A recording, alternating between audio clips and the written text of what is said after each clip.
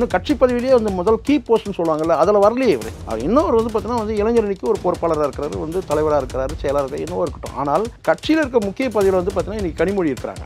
துரைமுருகன் இருக்கிறாரு. அப்படி இருக்கும்போது திடீர்னு ஒரு இடைச்செருகலாக தானே இது இருக்குது முதலமைச்சருக்கு என்னதான் ஆச்சு?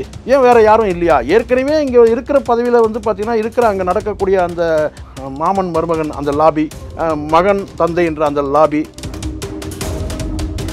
ஒரு ஒழுங்கான கட்சியில் வந்து கட்டமைப்பு கரெக்டாக தான் இருக்குன்றது எல்லாரோட பரவலான பேச்சு. அப்போ திடீர்னு வந்து ஒரு உதயநிதி வந்து இப்போ ஒரு இடைச்செருகலாக வந்து திணிக்கப்படும் போது அங்கே ஏதோ பிரச்சனை இருக்கு போல இருக்கு. இயக்கத்துக்கு கூட ஒரு தலைமையை உருவாக்காம கட்சிக்கு ஒரு துணைத் தலைவராகவோ அல்லது பொருளாளராகவோ அல்லது துணை பொதுச்செயலரோ உருவாக்காம ஆட்சிக்கு துணை முதலமைச்சர் கொடுக்குறாரு பார்த்தீங்களா அங்கே தான் சிக்கல். ஏன் அவ்வளோ அச்சம்? ஏன் அவ்வளோ பயம்? முதலமைச்சர் எதுக்கு பயப்படுறாரு?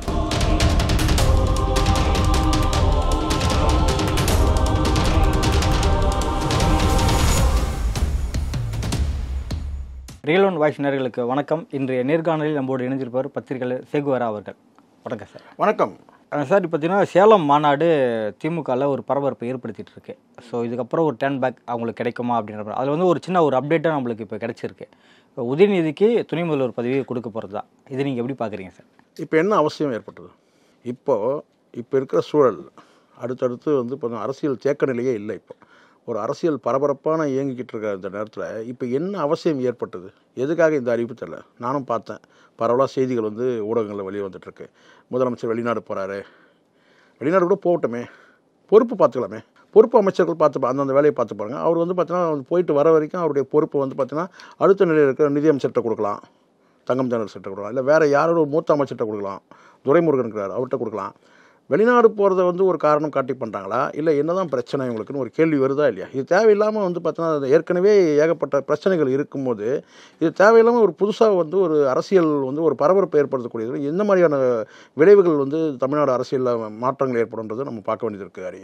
இதில் குறிப்பாக இன்னொரு விஷயம் நான் உங்களுக்கு சொல்கிறேன் கடந்த காலத்தில் நம்ம வந்து நீங்கள் கலைஞர் அவர்கள் வந்து துணை முதல்வராக வந்து ஸ்டாலின் அவர்களை அறிவிக்கும் போது படிப்படியாக வந்தாருன்றது வேறு விஷயம். இப்போ எப்படி அதிமுக தவழ்ந்து வந்திருக்கிறாரோ இவர் வந்து படிப்படியாக வந்திருக்கிறார் உண்மை. அரசியல் அதாவது கட்சி நிலையும் சரி ஆட்சி நிலையும் படிப்படியாக வந்திருக்கிறார். அப்படி இருக்கும்போது மேயர் பொறுப்பு வந்து வந்திருக்கு. அதுக்கப்புறம் தான் துணை முதல்வர் வந்து அந்த துணை முதல்வர் பதவி கூட எப்படின்னு கேட்டிங்கன்னா கலைஞர் அவர்களுக்கு முதுகுத்தண்டில் வந்து அறுவை சிகிச்சை பண்ணும்போது அந்த அறுவை சிகிச்சை சம்பந்தமாக அவரால் வந்து அடுத்த கட்டம் நடவடிக்கை நடக்க முடியாத ஒரு சூழலில் வீல் சேரில் இருக்கும்போது அப்போ வந்து அந்த துணை முதல்வர் பதவி வந்து கிடைக்கும்போது ஒரு இயற்கையான ஒரு வளர்ச்சியாக இருந்தது. யாருக்கு முதலமைச்சர் ஸ்டாலின் அவர்களுக்கு. ஒரு துணை முதல்வராக இருந்தார். அப்பவும் கூட பார்த்தீங்கன்னா முழுக்க முழுக்க எல்லா முடிவுகள் வந்து பார்த்தீங்கன்னா கலைஞர் தான் வந்து பேசக்கூடிய நிலையில் இருந்தார்.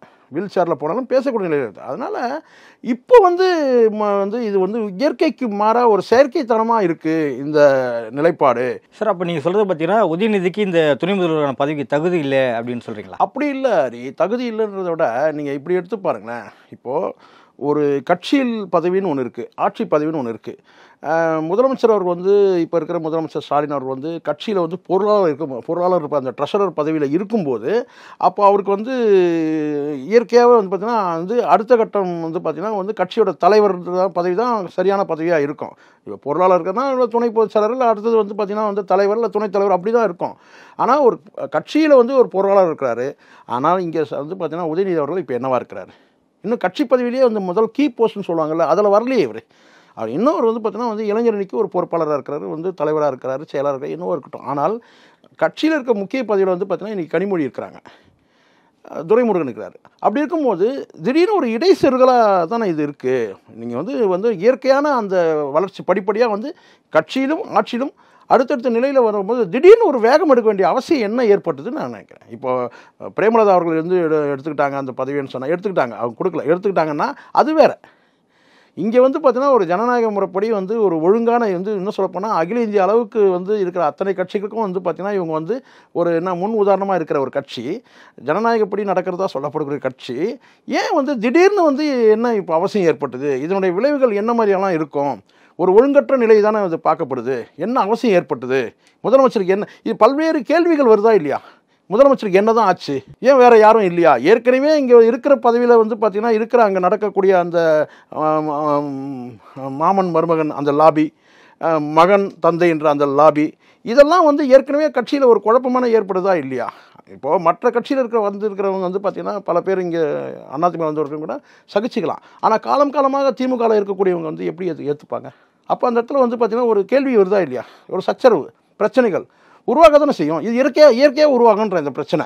இல்லை சார் இப்போ இது பார்க்க பார்த்தீங்கன்னா இது ஸ்டாலின் அவர்களிருந்து ஒரு ஜஸ்ட் ஒரு விலகல். விலகணும் போது கூடுதல் பொறுப்பு. இல்லை விலகுனா இப்போ முழுசாக விலகிடணும். இல்ல முழுசா அப்படின்னா சொல்லி அவர் ஃபுல்லா ஓய்வுன்ற மாதிரி நம்ம எடுத்துக்கலாமா? இல்ல பாரத்தை கொஞ்சம் குறைக்கிறன்றதுனால இவர் தம இல்ல, பாரத்தை குறைக்கணும்னா அப்போ ஒரு வெளிநாடு போகும்போது இதை செய்ய வேண்டிய அவசியம் இல்லையே? காலப்போக்கில் செஞ்சுருக்கலாமே இதை? அடுத்த நிலையில் கூட செய்யலாமே? இப்போ என்ன சூழல் ஏற்பட்டது? இப்போ நான் கேட்குறேன் இப்போ இப்படி சொல்கிற போது கேட்டினா வந்து வேறு ஏதாவது வந்து அங்கே பதவி போட்டி இருக்குதான்ற அந்த ஒரு ஐயப்பாடு வருதா? இல்லை இப்போ வந்து கனிமொழி அம்மா வந்து ஏற்கனவே அங்கே வந்து ஒரு பொறுப்பில் இருக்கிறாங்க. துணை பொதுச் செயலராக இருக்கிறாங்க. ஏற்கனவே மகளிர் அணியில் இருந்தாங்க அடுத்த ஒரு பதவி கொடுத்தாங்க. இப்போ இப்போ என்ன சொன்ன வலிய போய் வந்து பார்த்திங்கன்னா வந்து ஒரு திணிக்கப்படும் போது திணிக்கப்படக்கூடிய ஒரு துணை முதலமைச்சராக தானே இருக்கிறாரு உதயநிதி. அப்போ அங்கே ஒரு சத்தியம் அங்கே ஒரு சலசலப்பு ஏற்படும்ல கட்சியில் மூத்தவர் குடும்பத்திலும் மூத்தவர். கனிமொழி. யாரை காட்டிலும்? உதயநிதி உதயநிதி காட்டலாம். அப்போ அங்கே வந்து பார்த்தீங்கன்னா ஒரு கேள்வி வரதானே செய்யும். ஏற்கனவே கனிமொழி அவர்களுக்கு வந்து மாவட்டம் தோறும் வந்து நிர்வாகிகள் வந்து ஒரு கணிசமான சில பேர் வந்து பார்த்திங்கன்னா வந்து உறுதியான சில பேர் வந்து ஆதரவாக இருக்கிறாங்க. ஒவ்வொரு மா மாவட்டத்தில் எனக்கு தெரிஞ்சு பல மாவட்டங்களில் அவங்களுக்குன்னு ஆதரவாளர் இருக்கிறாங்க. அப்படி இருக்கும்போது இது எதுக்காக? அங்கே உள்கட்சி ஏதாவது குழப்பங்கள் ஏதாவது இருக்குதா? இல்லை ஒருவேளை வந்து பார்த்தீங்கன்னா இப்போ ஒன்று சொல்லுவாங்க. எப்போவுமே வந்து ஒரு என்ன சொன்ன ஆட்சி பயம்ன்றது வந்து எப்போ வரும்? இந்த ஆட்சிக்கு வந்து பார்த்திங்கன்னா பயம் கேட்டால் மற்ற எதிர்க்கட்சிகளால் பிரச்சனை வரும். இல்லை வந்து வேறு வந்து மற்ற உள்ளே இருக்கிற வந்து கட்சியில் இருக்கிற குழப்பங்கள் ஏதாவது நிர்வாகிகள் ஏதாவது குழப்பம் அதனால் வந்து பார்த்தீங்கன்னா ஐயோ இது ஆட்சியை கவிழ்த்துட்டு அவங்க வந்துருவாங்களோ இவங்க வந்துருவாங்களோன்ற பயம் இருக்கும். அந்த மாதிரி ஒரு பயம் ஒரு வேலை இருக்கான்றதா இல்லையா? உட்கட்சி குழப்பன்றதுல வந்து உட்கட்சியில் ஏதாவது வந்து போர்க்குடி தூக்குறாங்களா ஒரு வேலை முதலமைச்சர் அவர்களுக்கு. அப்போ இந்த இடத்துல வந்து ஒரு உடனே ஒரு துணை முதலமைச்சர் போடணுன்றதுக்காக எதிர்பார்க்குறாங்களா? இப்போது யூபியில் ஒரு பிரச்சனை நடந்துச்சு. உங்களுக்கு தெரியும். முலாயம் சிங் யாதவுக்குமே வந்து அப்பா மகனுக்குமே பிரச்சனை வந்துச்சாங்க அந்த இடத்துல. அப்போது வந்து பார்த்திங்கன்னா அங்கே வந்து அப்பா டம்மியாக்கப்பட்டு வந்து மகன் வந்து அங்கே வந்ததை நம்ம பார்த்தோம். அந்த மாதிரி வந்து இங்கே ஏதாவது இருக்கா? இல்லை இல்லை. எல்லாருமே ஒரு தலைமையின் கீழே தானே இருக்கிறாங்க. ஒரு ஒழுங்கான கட்சியில் வந்து கட்டமைப்பு கரெக்டாக தான் இருக்குன்றது எல்லாரோட பரவலான பேச்சு. அப்போ திடீர்னு வந்து ஒரு உதயநிதி வந்து இப்போ ஒரு இடைசீர்களாக வந்து திணிக்கப்படும் போது அங்கே ஏதோ பிரச்சனை இருக்குது போல இருக்குது யாருக்கு யாருக்கும் பிரச்சனை? கனிமொழிக்கும் உதயநிதிக்கும் பிரச்சனையா? அப்படின்றது வந்து ஏற்கனவே இங்கே சில இந்த சவுக்கு சங்கர் இவங்கெல்லாம் வெறும் வாயை மெல்றவனுங்க. இப்போ தேவையில்லாம ஒரு அவல் திணிக்கிற மாதிரி ஆகிடுதா இல்லையா? இப்போ இந்த சூழ்நிலை வந்து பார்த்திங்கன்னா அடுத்த நிலையில் வந்து பார்த்தீங்கன்னா அதிமுக மாதிரி பல குழப்பங்கள் ஏற்படுறதுக்கான வாய்ப்பு இருக்கா இல்லையா? இருக்கே வருமே இயற்கையாக வருமே. இப்போது இது மு முக்கியமான ஒரு விஷயம் நீங்கள் பார்க்கணும். நீங்கள் சீனியாரிட்டியில் பார்த்தீங்கன்னா கூட பார்த்தீங்கன்னா பல அமைச்சர்கள் இன்னும் சொல்லப்போனால் விரல் விட்டு எண்ணிடலாம். ஒருத்தர் ரெண்டு பேர் தான் வந்து இவரோட இவருக்கு சமமான வயது. உதயநிதி அவர்களுக்கு சமமான வயது யாருக்குன்னு கேட்டிங்கன்னா ஆஹ், அன்பில் மகேஷ்க்கு இருக்கலாம். இல்லை அடுத்த நிலை வேற ஒன்று ரெண்டு பேர் இந்த TRB ராஜா. ராஜா.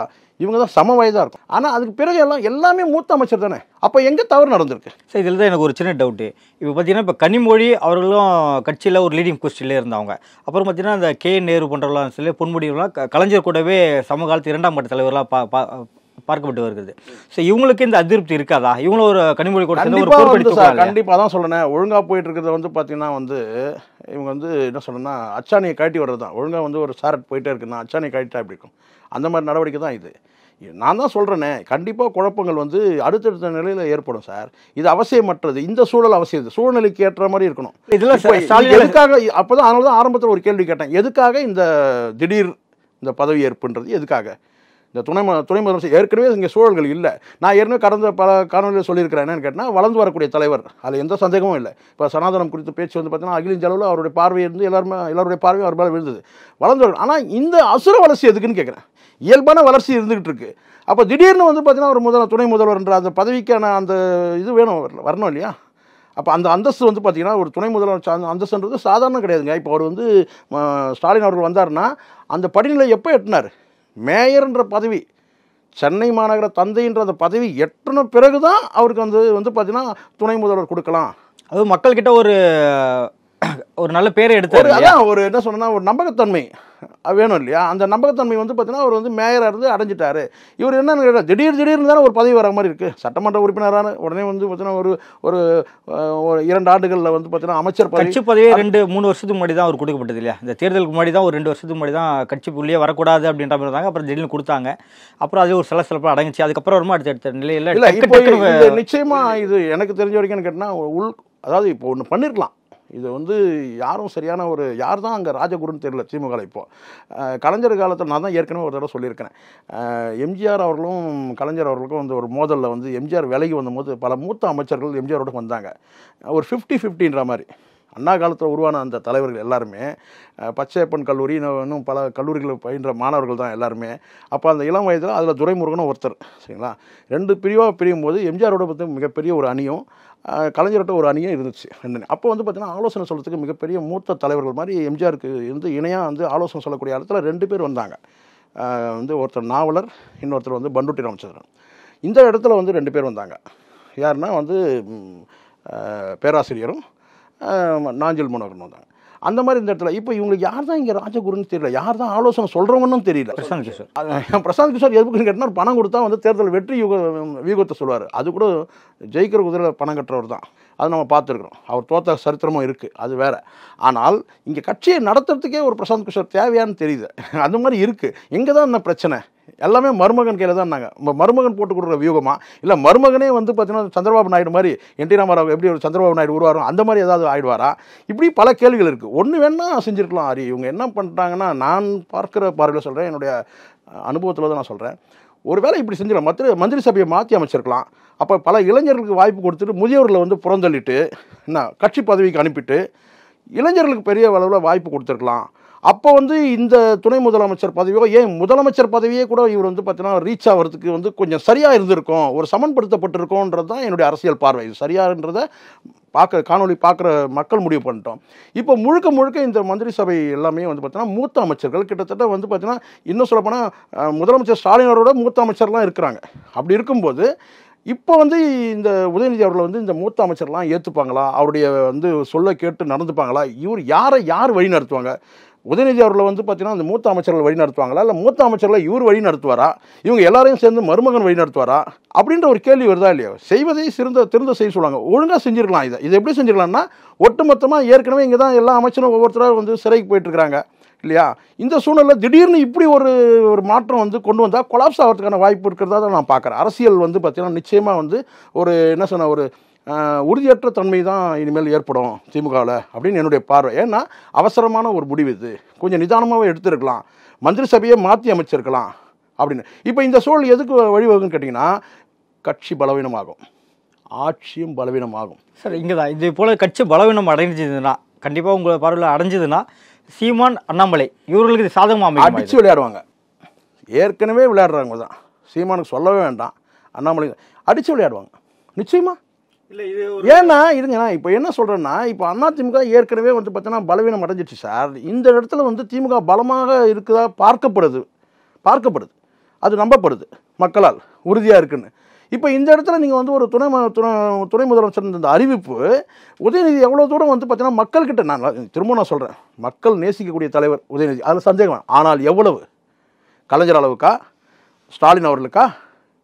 இப்போ தான் வந்துகிட்டு இருக்கிறாரு. இந்த அவசரமாக வந்து ஒரு துணை முதல்வர் தேவையா? இப்போ அமைச்சராக இருந்தே அவர் இன்னும் என்ன சாதிச்சிருக்கிறாருன்றதை வந்து இனிமேல் மக்களுக்கு சொல்லணும் அவர். நான் அமைச்சராக வந்த பிறகு நான் என்னெல்லாம் பண்ணியிருக்கிறேன் எந்த துறையாக இருக்கட்டும். ஆனால் துணை முதலமைச்சராக வந்து என்ன அவருக்கு வந்து பார்த்தீங்கன்னா செய்கிறாரு எதுக்காக இதை கொண்டு வராங்க? முதலமைச்சர் உடல்நிலை சம்மந்தமாக ஒரு கேள்வி எழ எழக்கூடியது வந்து தவிர்க்க முடியாமல் ஒரு சூழல் உருவாகுது. எதுக்காக இது?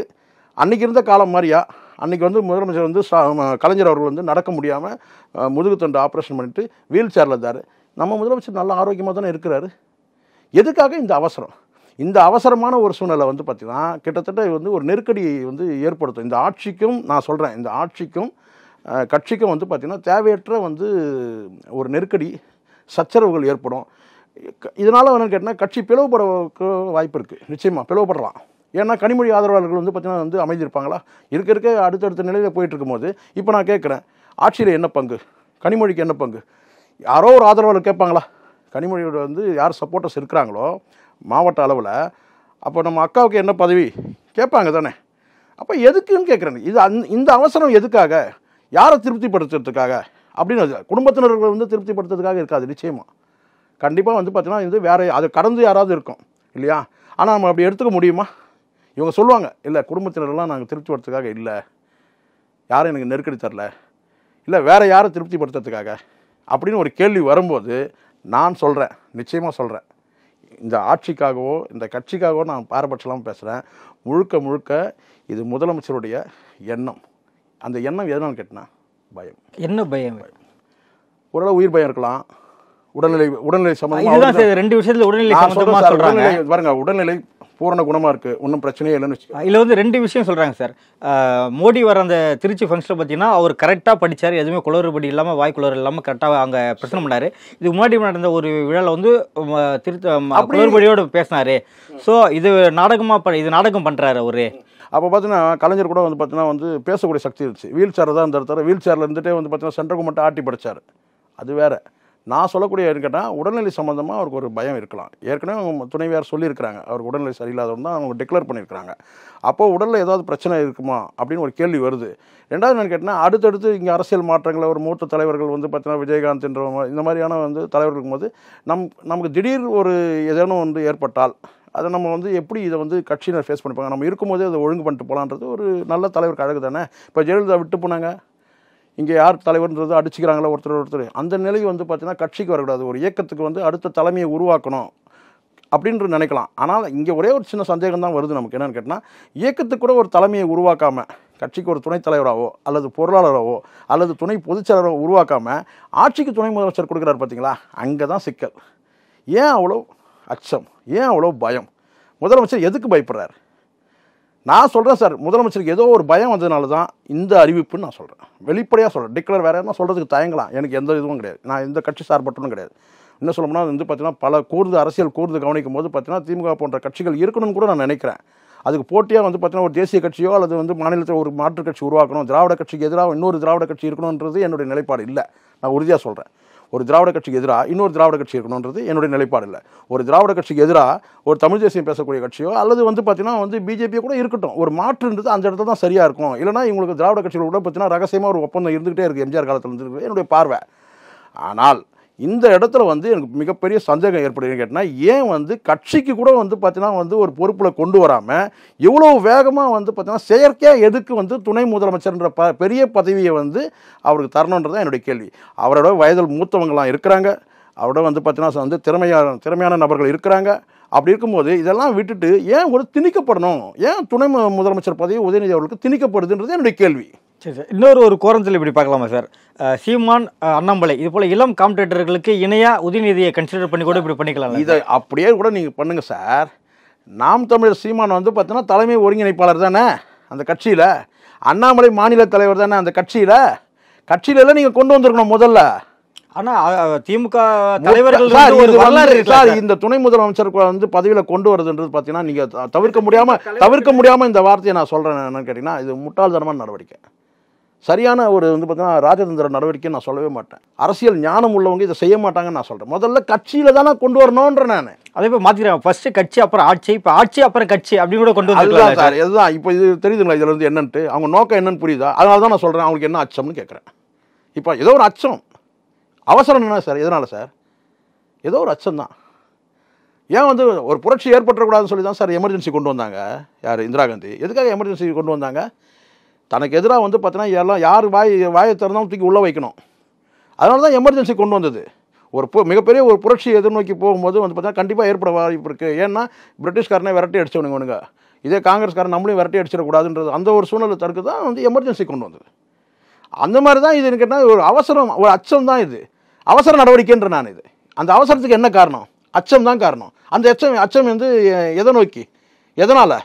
அந்த கேள்வி வருதா இல்லையா? நிச்சயமாக வந்து என்னுடைய பார்வை தான் நான் சொல்கிறேன் எனக்கு காழ்ப்புலாம் எதுவுமே கிடையாது. தாராளமாக வந்து பார்த்தீங்கன்னா ஒரு முதலமைச்சர் பதவியே கூட ஏற்றுட்டோம். ஆனால் அதுக்கு வந்து பார்த்தீங்கன்னா படிப்படியாக இப்போ நான் கேட்குறேன் கடைசியாக ஒரு கேள்வி கேட்டு முடிக்கிறேன். திமுக வாக்களித்தவங்க யார்கிட்டயாவது போயிட்டு யாரை வந்து முதலமைச்சராக முன்மொழிஞ்சதுனால வாக்களிச்சிங்கன்னு கேட்டால் ஸ்டாலின் சொல்லுவாங்களா? சொல்லுவாங்களா? கிட்டத்தட்ட இப்போ இந்த துணை முதலமைச்சர் நீங்கள் பதவி நீங்கள் கொடுக்கும்போது என்ன ஆகும்னு கேட்டிங்கன்னா ஒட்டுமொத்த அதிகாரமும் அவர்கிட்ட வந்துடும் இது இயல்பு. எல்லாருக்கும் தெரியும். அங்கே வந்து வந்து பார்த்தீங்கன்னா முதலமைச்சர் கலைஞர் அவர்கிட்ட இருக்கும்போது பார்த்தீங்கன்னா முழு அதிகாரம் அவர்கிட்ட தான் இருந்தது. ஏன்னா அவர் பேசக்கூடிய நிலையில் இருந்தால் செயல்படக்கூடிய இன்னும் நடக்க மட்டும் தான் முடியாது. வீல் சேர்லேயே அவர் வந்து சோண்டு சோண்டு பன்னெண்டு அமைச்சர்கள் மத்திய அமைச்சர் பதவியை வாங்கி காமிச்சார் அவர். சரிங்களா? அப்படி இருக்கும்போது இங்கே வந்து நான் கேட்டேன்னா அந்த மாதிரி நிலைப்பாடு இல்லை. முழுக்க முழுக்க இப்போவே வந்து பார்த்தீங்கன்னா ஏறக்குறைய அவர்கிட்ட தான் இருக்குது எல்லா முடிவும் அவர் தான் எடுக்கிறாரு. உதயநிதி அவர்கள் தான் எடுக்கிறாருங்க. அப்போது டம்மி முதல்வராக இருக்கிறாருன்ற மாதிரியும் சில வந்து பார்த்தீங்கன்னா பேச்சுக்கள் வருது. இங்கேருந்து பேசுறது தானே? பிஜேபி தரப்புலையோ இல்லை நாம் தமிழ் தரப்புலையோ பேசுறது தானே? அப்போ நீங்கள் நேரடியாக நீங்கள் அந்த பதவி கொடுத்துருந்தீங்கனாக்கா அப்போ இங்கே காம்படிட்டர் நீங்கள் சொன்ன மாதிரி யார் வராங்க?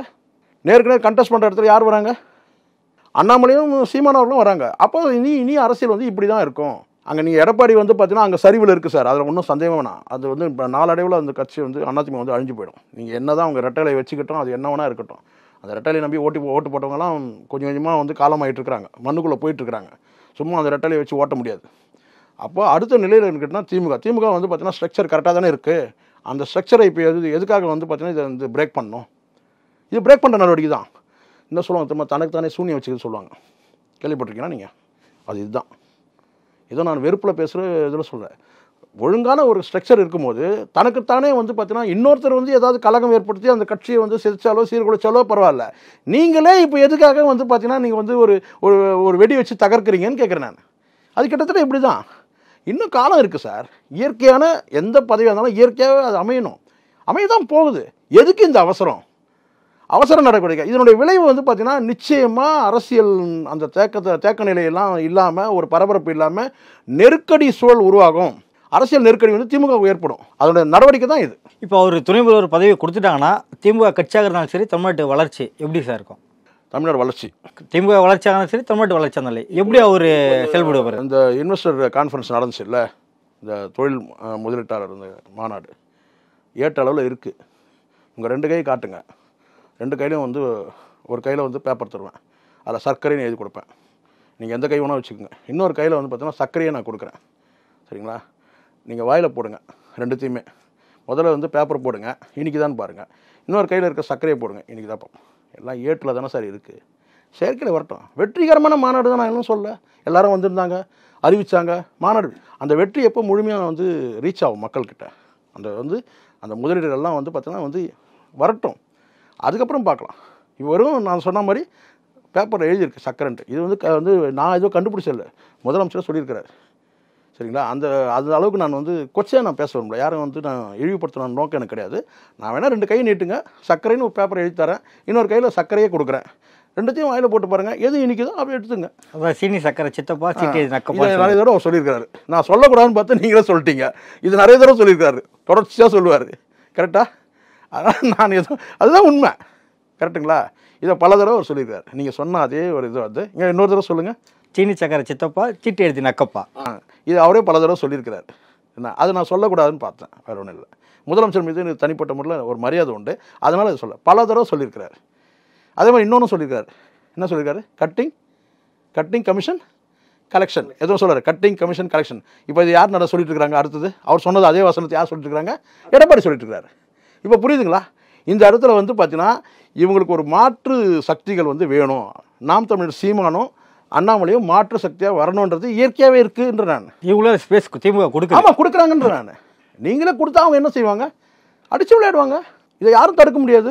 கட்சியை பலவீனப்படுத்துகிற நடவடிக்கை சார் இது. ஆட்சியை மட்டும் அல்ல கட்சியும் பலவீனப்படுத்த பலவீனமாக்கக்கூடிய செயல் இது. இவ்வளோ அவசரம் தேவையில்லைன்ற. ரொம்ப அவசரம். ஐந்தாண்டுகளில் எல்லாத்தையுமே நிறைவு செஞ்சிடணுமா இன்னும் மூத்த தலைவராக்கிடுவாங்களா ஒருவேளை? பெரியார் அண்ணா ரேஞ்சுக்கு கொண்டு வந்துருவாங்களா? நான் நமக்கு வெறுப்பு இல்லை சார். இயற்கையாக வரட்டுமேன்ற என்ன இந்த அவசரம் எதுக்குன்னு கேட்டேன் இந்த அவசரம் கூட தேவையற்றதுன்ற அவசியமற்றது இல்லை. காரணத்தை சொல்லுங்கள் காரணம் சொல்லுங்கள் அப்போ அவர் காரணம் சொன்னார். எனக்கு என்ன என்னால் நடுமுதுகு ஆப்ரேஷன் பண்ணியிருக்கேன் என்னால் நட முடியாது நடமாட முடியாது. நான் வீல் சேரில் இருக்கேன். அப்போ இதை கவனிக்கிறதுக்கெலாம் வந்து மூணு நேரம் கவனிக்கிறதுக்கு ஒரு பல இடங்களுக்கு வந்து உடனடியாக போகிறதுக்கு தேவை. அப்போ ஸ்டாலின் அவர்களுக்கு என்னாச்சு? ஒரு கேள்வி வருதா? தங்களது ஆழ்ந்த கருத்துக்களை பதிவு செஞ்சு மிக்க நன்றி சார். நன்றி.